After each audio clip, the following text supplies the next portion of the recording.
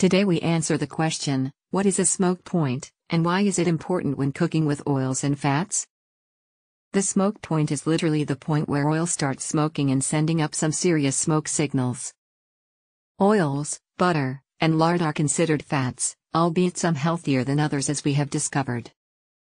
Unrefined oils, called virgin or cold pressed, are made from nuts and seeds which are packed with minerals, enzymes and nutrients that don't do so well with heat because heat depletes the nutritional value. These are best when used for cooking at lower temperatures. Manufacturers of oils have been using an industrial refinement process in order to mass produce oils with higher smoke points, a refining process. The process can include bleaching, filtering and high temperature extracting of the nutrients in order to raise the smoke points. This process also gives the oil a neutral flavor, a longer shelf life, and a higher smoke point. The danger for consumers is not well communicated that if you surpass the smoke point of an oil, you are creating pure free radicals and a substance called acrolein.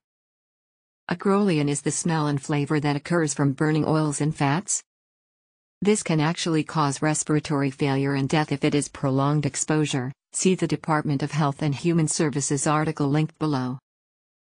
According to experts, the following five oils are the most healthy olive oil, avocado, sesame, safflower, and peanut oil. All neutral oils listed on this chart are refined, though unrefined versions of them do exist. These are the varieties most common to a home cook's repertoire. Meanwhile, the majority of flavorful oils are expeller pressed and, though available refined, are often quite costly and uncommon. Note Make sure you are buying true extra virgin olive oil. Look for unrefined 100% extra virgin oil, a recent harvest date, and a dark bottle. Organic is ideal, but it does come at a higher cost. Caution Never store unrefined oils slash fats on the stove or near a heat source.